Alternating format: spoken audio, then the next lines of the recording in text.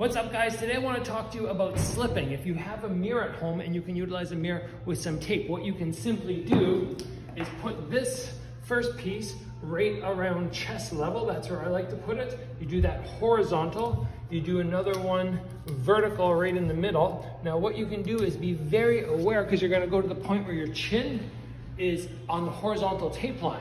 Now from there, when you slip, you're gonna see exactly if you're getting your head far enough off the center line or not.